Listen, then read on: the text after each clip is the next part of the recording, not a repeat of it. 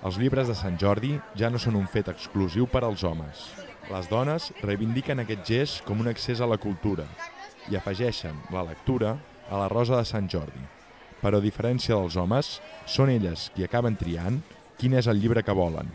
És molt més fàcil que la dona compri per l'home que l'inrevés, probablement perquè les dones acaben sent una mica més complicades i tenen gustos més personals i els agrada més triar-se'l personalment. Les dones en general se'l trien, se trien elles el llibre.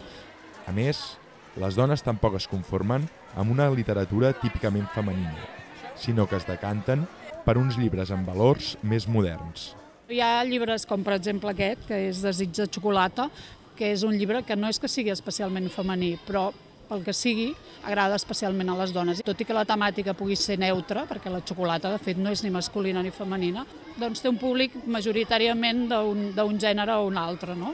Arribats fins aquí, la pregunta és si els homes començaran a reivindicar també una rosa per aquesta diada.